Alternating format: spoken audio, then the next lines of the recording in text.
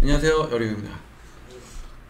자 오늘은 어 제가 이제 기존부터 굉장히 오랫동안 하고 싶었던 방송 콘텐츠인데 어 제가 원래 주식하고 부동산을 굉장히 좋아해서 좀 이런 거에 대해서 방송을 하고 싶었는데 어 그동안 이걸 하지를 못했어요. 그러다가 이번에 처음으로 오늘 처음으로 여러분들께 어 주식을 한번 시작을 해보려고 합니다. 그래서 어떻게 시작할까 고민하다가 추천 종목을 먼저 어 시작하기로 마음먹었어요 근데 이게 추천 종목이라는 게 시간이 굉장히 오래 걸리긴 할 거예요. 왜냐면 제가 여러분들한테 종목을 추천해 드려도 이거 믿고 사는 사람이 솔직히 없을 거예요. 뭐 저 같아도 누가 갑자기 피파 하던 형이 와서 아 이게 좋은 종목이네 사라. 이러면 사겠어요? 안 사겠죠. 근데 이거 하는 이유는 언젠간 이게 맞게 되면 여러분이 어 그때 그 형 말이 맞았네 하면서 생각이 날 거예요. 그래서 지금 어떻게 보면 지금 이 방송은 어, 여러분들한테 제가 지금 어, 씨, 어, 씨를 심, 나무에 씨를 심고 있는 그런 과정이라는 생각이 좀 듭니다. 자, 이제 본격적으로 한번 시작해 볼게요. 제가 주식을 고를 때 어, 가장 중요하게 생각하는 거는 일단 원금 손실이 어, 없어야 한다. 이거 저는 정말 중요하게 생각합니다. 원금 손실 없이 계속 자산을 어, 시간이 걸리더라도 늘려가는 게 굉장히 중요한 키포인트입니다. 이거에 대해서는 제가 또 나중에 기회 되면 자세하게 어, 왜 그런지 설명드릴게요. 자, 두 번째는 어, 저평가돼 있을 때 사야죠. 자, 그리고 세 번째가 어, 매출과 순이익이 증가해야 되고 어, 마지막으로 어, 영업 어, 영업이 어, 영업 이익률 이렇게 제가 생각하는 것들이 있는데 이거 말고도 제가 생각하는 것들이 뭐 여러 가지가 있는데 제가 오늘 찾은 회사는 요거에 어, 상당 부분 어, 매칭이 잘 되는 그런 회사입니다. 바로 어떤 회사냐면 어, 현대 글로비스 글로비스입니다. 현대 글로비스. 자 이거 디지털 타임즈에서 어, 2020년 5월 26일 어, 얼마 안 된 기사죠. 어, 여기서 현대 글로비스에 대한 기사가 나왔는데 딴 거는 뭐 다 여러분 뭐 보실 필요 없고 자 여기서 가장 중요한 부분은 바로 이 부분이에요. 현대 글로비스는 정의선 수석 부회장에게 의미가 큰 계열사다.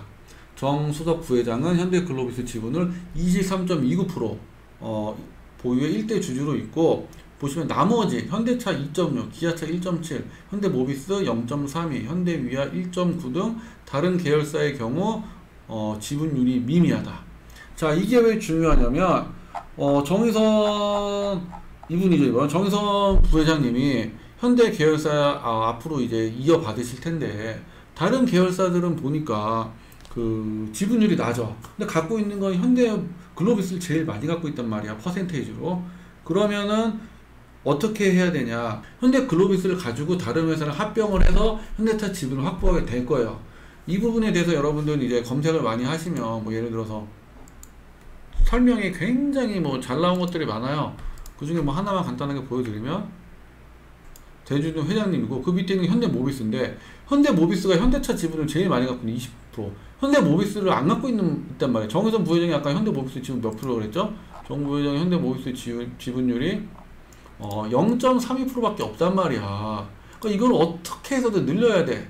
근데 이걸 늘릴 수 있는 방법이 결국은 현대 글로비스밖에 없다. 그러니까 여기 보시면 어, 현대 모비스에서 분할된 어, 부분을 합병할 거다. 개편 후에. 이거 2018년에 이렇게 하려고 했는데 2018년에 이렇게 못했죠. 왜? 엘리엇이 그때 현대차 지분 많이 갖고 있었는데 반대로 엄청 했어. 외국계 그 엘리엇이 그때 뭐 현대차가 좀 지분 구조가 취약하, 취약하다 보니까 엘리엇이 그때 공격을 많이 했는데 지금 엘리엇이 다 팔고 나갔어요. 자 지금 보시면 이게 현대 글로비스 월봉 차트인데 2000 여기가 2005년입니다. 2005년에 이때 얼마였냐면 어, 6만 원 정도 했네. 6만 원. 그렇죠? 4만 2천 원부터 시작했네. 처음에 4만 2천 원 시작해서 제일 비쌌을 때 이때 이때가 33만 원까지 찍었어요. 2014년에. 그리고 와서 지금 요때 어, 코로나 사태 때 7만 1천 원까지 찍었다가 3월 달이죠. 지금 현재 가격이 10만 7천 원. 조금 확대해서 일봉으로 본다면 이때가 3월 20일 날 어, 3월 23일 날 7만 3천 원에서 지금 조금 올라와서 10만 6천 원이에요. 아까 제일 비쌌을 때가 얼마였죠? 어, 제일 비쌌을 때가 32만 2천 원이니까 이때에 비하면 지금 3분의 1 토막 난 거죠. 그쵸? 3분의 1 가격밖에 안 합니다. 자, 그럼 굉장히 어, 저평가 돼 있을 때라고 볼 수 있죠.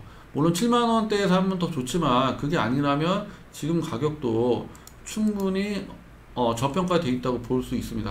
자, 그 다음에 매출과 영업이익을 한번 보면은 자, 이게 현대글로비스 저 매출인데요.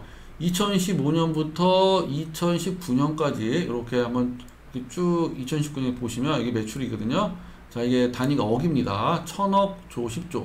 14조 6천에서 매년 늘고 있어. 매년 매출이 늘고 있고 지금 작년에 18조 2천억까지 늘었죠. 그쵸? 그 다음에 올해는 조금 줄어들 걸로 예상하고 있네요. 근데 이거는 좀 예, 옛날 치고 참고로 말씀드리면 얼마 전에 그 기사가 하나 떴는데 자 이거 얼마 전에 기사가 떴는데 현대글로비스가 어, 폭스바겐 초대형 계약 따냈다. 2020년 7월이 오늘 7월 8일이니까 일주일 됐네요. 그쵸? 5년간 5천억 규모 어, 아우디, 폭스바겐, 포르쉐 어, 현대글로비스가 이제 운송을 맡게 됩니다. 지금 매출이 더 늘어날 거예요. 지금 이 얘기를 제가 지금 왜, 했냐, 왜 하냐면 앞으로 굉장히 매출이 더 증대가 될 겁니다. 그리고 중요한 건 이거는 현대 개, 현대 기아차 계열사라서 마음만 먹으면 어, 일감 몰아주기를 통해서 어, 얼마든지 매출과 영업이익을 늘려줄 수 있거든요. 아 그리고 또 하나 또 하나 또 하나 또 하나 보셔야 될게 어, 이제 영업이익도 보시면 단기순이익 보시면 영업이익을 볼게요. 자 영업이익 보시면 여기도 역시 매년 늘어나고 있습니다. 매년.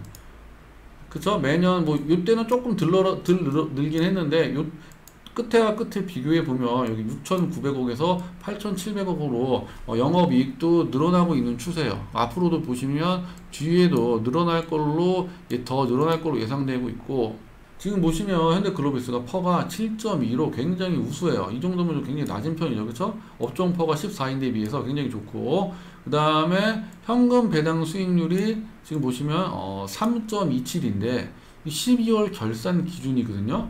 그러면 영업이익이 지금 그대로 유지된다는 상, 어, 가정에서 본다면 이게 12월 달에 주식이 어, 얼마였냐면 이때가 13만원, 14만원 13만원, 14만원대 3. 몇 프로였으면 지금 이보다 좀더 어, 높을 수도 있겠죠. 뭐 아니면 뭐 요도 줄 수도 있는데 지금 매년 보니까 똑같이 주더라고 비슷하게. 자 보시면 얼마 배당하냐면 어, 주당 3,000원, 3,000원, 3,000원, 3,300원, 3,500원으로 어, 배당 성향이 좀 더 조금씩 조금씩 더 강해지고 있죠. 배당을 좀 더 많이 주당 배당 금액이 늘어나고 있어요. 근데 주식은 떨어졌어. 그렇기 때문에 지금 사놓으면 배당적인 측면에서도 굉장히 유리하죠. 굉장히 유리해요. 물론 단점이 있다면 이제 영업이익률이 높지 않다는 겁니다. 영업이익률이 보니까 어, 한 얼마 4% 정도 되는 것 같아요. 영업이익률이 어, 4.7%에서 4.8% 정도 되죠. 이 부분이 좀 아쉽긴 한데 결국 우리가 노려야 할 키포인트는 영업이익률 빼고 다른 부분이 너무 좋고 영업이익률이 없는 대신에 지분구조 특히 현대 현대차 출자 전환 어, 지분 구조. 현대차 출자 전환을 해소하는데 굉장히 큰 역할을 할 수밖에 없는 할 수밖에 없는 이런 회사고 제가 봤을 때는 결국 현대가 어떻게 이거를 끊을 거냐면 어, 현대 모비스의 지, 어, 가치를 좀 낮추고 그 다음에 현대 글로비스의 가, 어, 값어치를 높여서 이렇게 해서 합병을 해서 아까 그 그림이 있던 것처럼 그런 방식으로 저는 갈 거라고 보기 때문에 어, 굉장히 안정적으로 3년 안에 어, 두배 정도 수익률을 노릴 수, 노릴 수 있는 어, 굉장히 좋은 종목이라고 생각이 듭니다. 자, 그리고 마지막으로 하나 더 키포인트를 말씀드리면 지금 여기 지금 가격도 싸기는 한데 완전히 뭐 몰빵하고 몰빵은 솔직히 같으면 몰빵 때도 되는데 대출은 지금 넣으면 안 될 것 같아요. 여기 레버리지를 지금 쓰는 건 좀 위험하고 왜냐하면은 9월 달에 공매도 해지가 되면은 한 번 더 주식이 좀 내려앉을 수가 있죠. 그럴 가능성이 있기 때문에 약간은 좀 그런 부분은 좀 감안을 하고 단계적으로 매수하거나 아니면 어느 정도 지금 매수를 해서 어, 최소 3년 안에 더블 가거나 진짜 오래 걸려도 5년 안에는 어, 꽤 높은 더블 전 더블은 무조건 간다고 봐요. 목표 주가는 저는 20만 원. 근데 20만 원은 어, 좀 벽이 있으니까 19만 5천 원 무조건 간다고 봅니다. 19만 5천 원을 목표가로 잡고 어, 여러분들 투자를 하시면 어, 차후에 굉장히 어, 큰 수익률 3년에 따버리면 굉장히 큰 수익이죠. 어, 그 정도 수익을 볼 수 있을 겁니다. 안정적으로. 제일 중요한 건 그거예요. 안정적으로. 거기다가 어, 배당까지 가질 수 있다는 점 어, 이런 주식은 제가 주식을 많이 찾는데 굉장히 오랜만에 찾았어요. 제가 이걸 굳이 평가를 하자면 어, 한 4년 전에 카카오 발견한 이후로 3년 전인가 4년 전인가 그때 제가 카카오 발견해서 주변에 추천을 많이 해줬었거든요.